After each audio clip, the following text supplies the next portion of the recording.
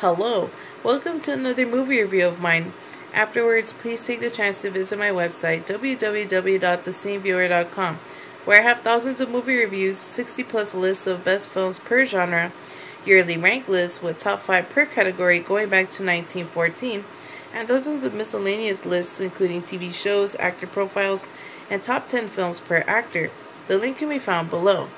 Today we are reviewing Heaven Knows Mr. Allison, 1957. Gave this movie a rating of 9, was viewed in 2014-2024. Heaven knows Mr. Allison is a superb Robinson Crusoe type picture that features a Marine and a nun hiding from the Japanese soldiers during World War II. Deborah Kerr is a is fair herself and does what she can. Anyone could have played her role just the same. The real reason why the film gets an 8 from me is Robert Mitchum, who was surprisingly not Oscar nominated. He's very good, engaging, human, and personable.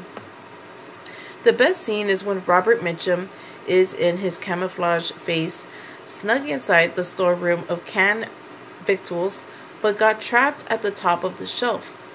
It's done with high tension, making his performance highly memorable.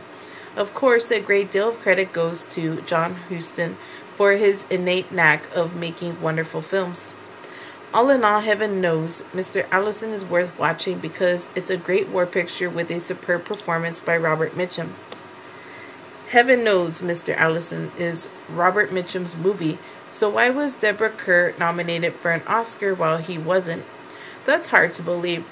Robert Mitchum stole the show in every scene. All Deborah Kerr could do is be awed of him. The best part is when he's inside the building to get food for her.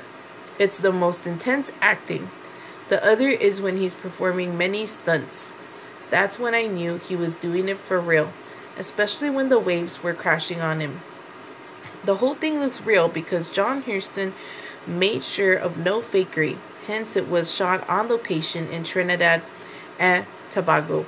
That what's nice is the nun was never in love with Mr. Allison. She held fast to her beliefs while he had a hard time dealing with the fact but got over it. No matter, it's an exciting World War II adventure set in the South Pacific. All in all, Robert Mitchum is brilliant in Heaven Knows Mr. Allison, a top 5 performance of his career. Thank you so much for joining me for this review. Don't forget to visit my website at www.thecineviewer.com.